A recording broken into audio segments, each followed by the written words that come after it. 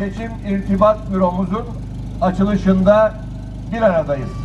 Biraz evvel çarşamba pazarımızı değerli milletvekilimizle ve milletvekili adayları olarak teşkilatımızda dolaştık. Hayırlı işler diledik. Vatandaşlarımızla buluştuk. Esnafımızla halleştik, dertleştik. Onların fikirlerini dinledik. Onlarla hemhal olduk.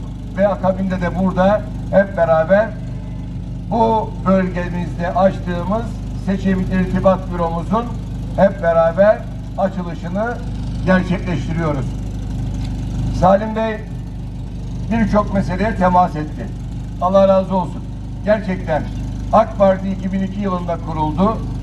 AK Parti belediyeciliğiyle Çankırı Belediye'mizin çehresi değişti. Çankırı'mızın çehresi değişti. Gerçekten muazzam işlere, hizmetlere, güzelliklere imza atıldı.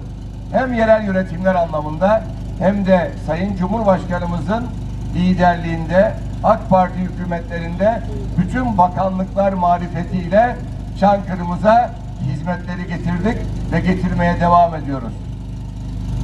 Çerkeş'inden Bayramören'ine, Kızılırmağı'ndan Yapraklısı'na bütün ilçelerimize hiçbir ayrım gözetmeksizin bu dönemde de biz Salim Çiftçioğlu Bey ile beraber bütün belediyelerimize şu anda 12 ilçe 4 tane de belediye belediyemiz toplam 16 belediyemiz var.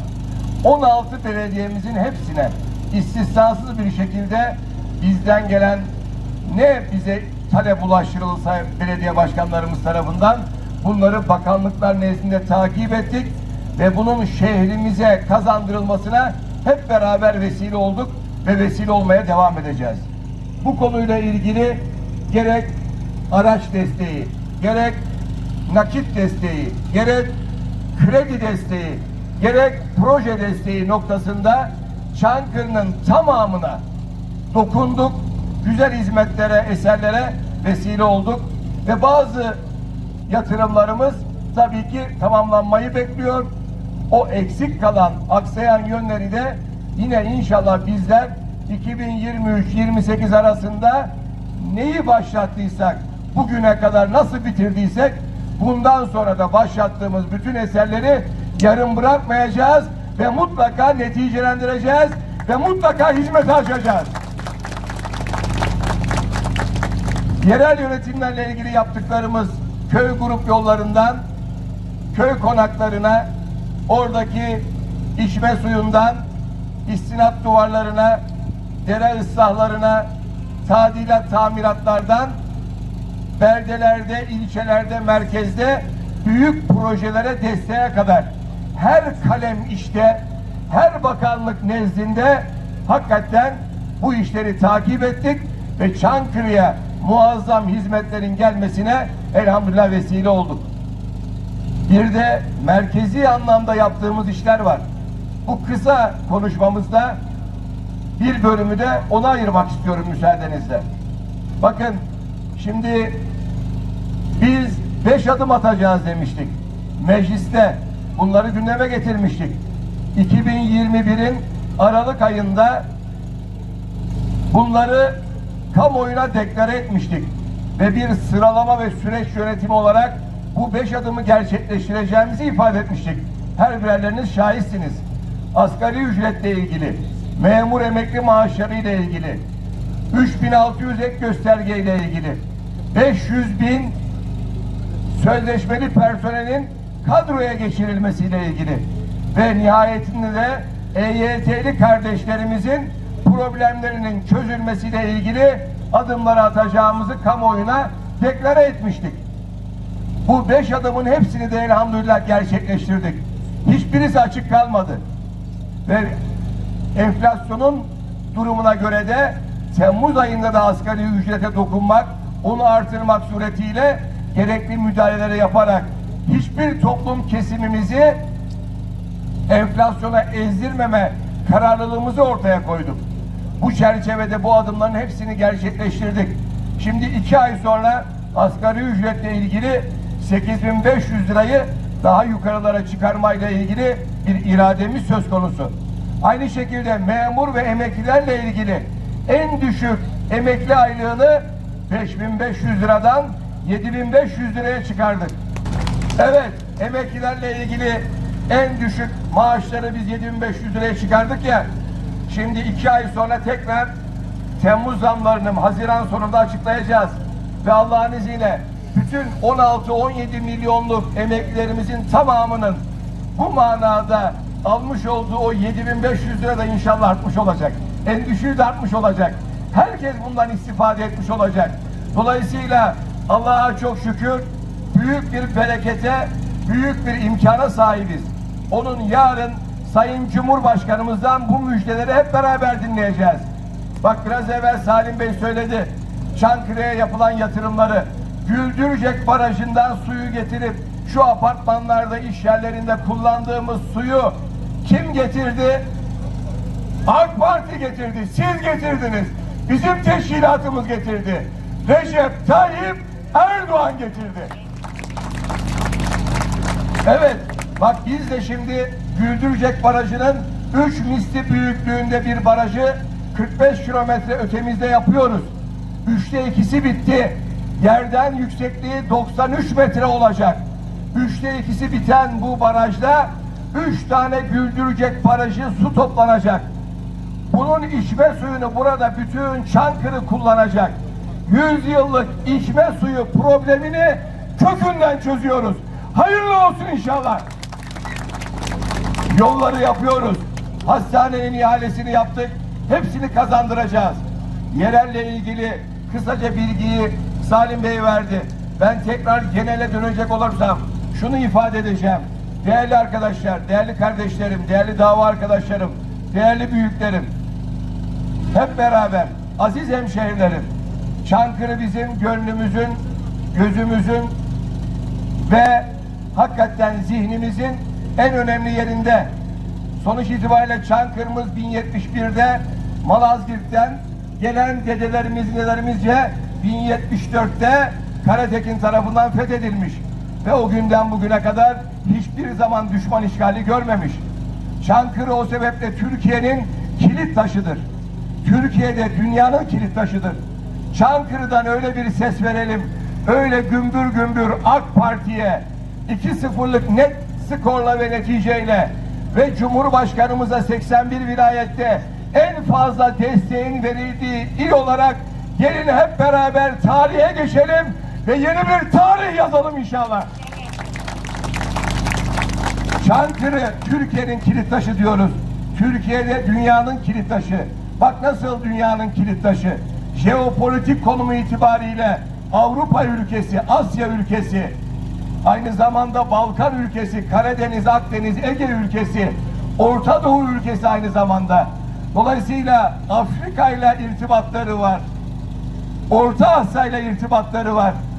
Evet, işte bu manada kilit taşı olmak konumunu, jeopolitik konumunu, jeostratejik konumunu çok daha güçlendirecek bölgesel bir güç, küresel bir aktör olarak yoluna devam etmesi için insanlarımızın, Çankırı'daki insanlarımızın, Türkiye'deki 85 milyon insanımızın daha fazla zenginleşmesi, devletimizin daha zenginleşmesi için durmadan, yorulmadan Recep Tayyip Erdoğan'ın öncülüğünde çalışıyoruz.